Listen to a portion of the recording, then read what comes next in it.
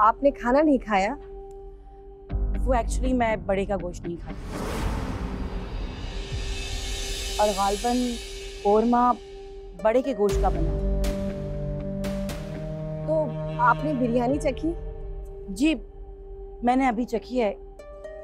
एक स्पून लिया था।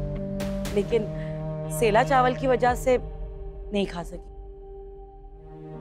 देखो जिस लड़की के पीछे तुमने अपना ये हुलिया बना के रखा हुआ है वो लड़की तुम्हारे काबिल नहीं थी।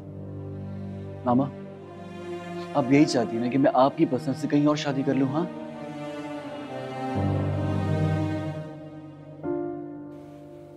मैंने फैसला कर लिया कि मैं लंदन जा रहा हूँ। फवाद? फवाद? आपकी एक माँ है जैनब की हालत बहुत सीरियस है। अगर वो उम्मीद से ना मिली तो वो तो वो मर जाएगी। खुदा ना खास्ता, अगर वो मर गई, खुदा भी आप लोगों को कभी माफ़ नहीं करेगा। प्लीज़